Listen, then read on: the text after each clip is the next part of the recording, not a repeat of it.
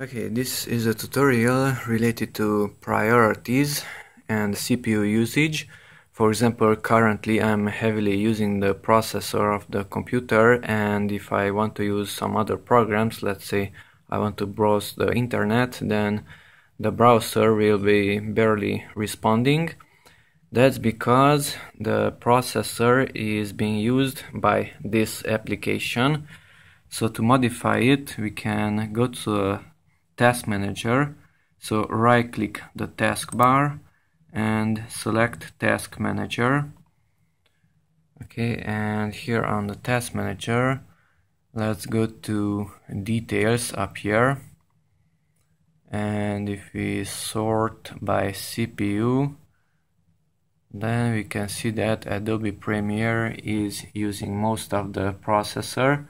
It's using it around 97% Okay, so to modify that, let's right click onto that program which is using the processor, go to set priority and select below normal. Now it's on normal and we will select below. Okay, and after that change the priority and that's it.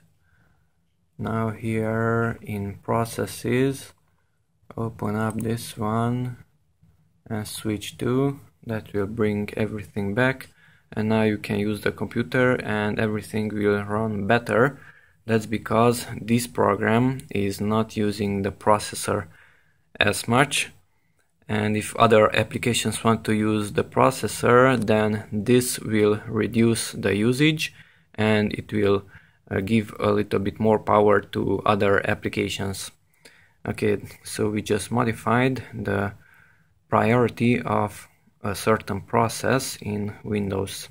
And then the other programs would work easily more better. Okay that's it. Thanks for watching. Bye bye